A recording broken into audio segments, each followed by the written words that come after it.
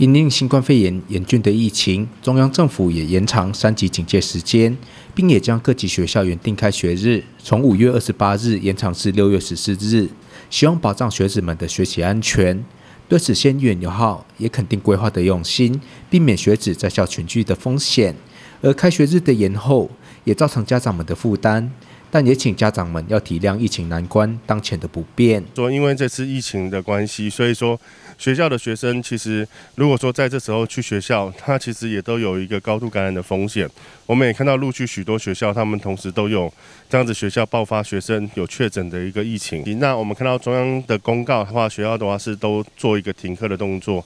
那其实也是对于家长是非常的辛苦，那也希望大家共体时间，一起配合这次疫情的一个措施，那也能够让这样子过程中，让小孩子在家能够最安心、最放心的一个在家，算是说自我的做学习的也好，那避免说进学校，还能够说减少群聚的一个风险。而仙女蔡蒙尔则表示，在正常情况下，孩子们就有学校的照顾，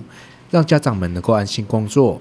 但碍于防疫的重要性，要将开学日延后至六月十四日。家长们也是辛苦，但还是要请家长们能够配合，并更要注意孩子们在家情况，切勿让他们到外活动，一起将防疫做到完善，让疫情能够尽快消失。